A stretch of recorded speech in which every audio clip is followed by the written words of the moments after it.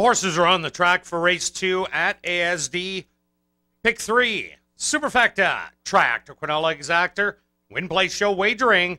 They're going to go seven and a half furlongs for a purse of $6,500. Number one is Jess Z, owned by Larry Carlson, trained by Chad Torvell with Janine Smith.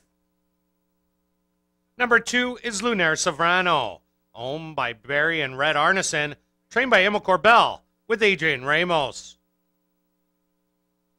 Number three is Cimarron Kid, owned by Dwayne Antoine, trained by Robin Martins with Trevor Simpson. Number four is Tizzy's Desert Star, owned by Wendy Mooney, trained by Bill Mooney with Larry Munoz. Number five is Starpone, owned and trained by Dennis Dorchester, Chavi and Chow Board. Number six is Great Cause, owned by Dale Henry, trained by Tom Gardapi Jr. with Tyrone Nelson.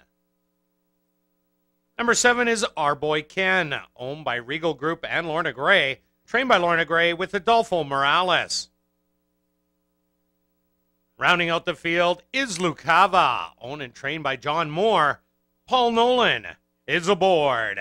Pick three, Superfecta, Triactor, Quinella Exactor, Win Place Show Wagering.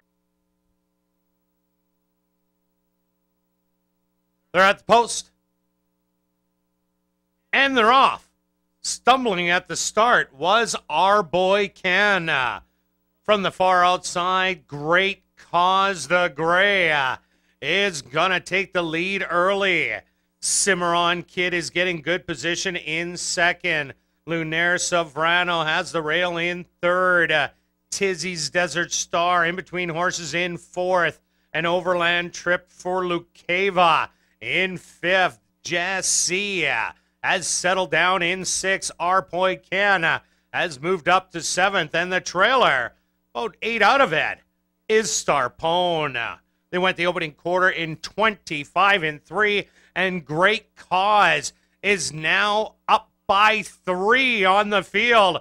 Our boy Ken rallying early and now moving into second. Cimarron Kid still patient on the rail in third. Lucava in fourth. And it's back two more lengths to Lunaire Sovrano with Tizzy's Desert Star on the outside.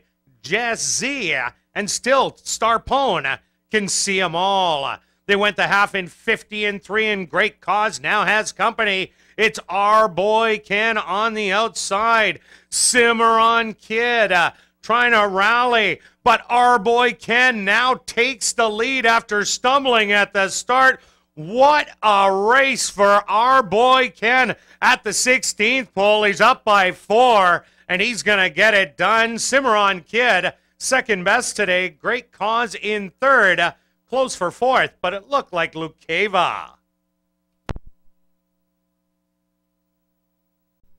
Now entering the winner's enclosure is the official winner of race number two. That's number seven, Our Boy Ken.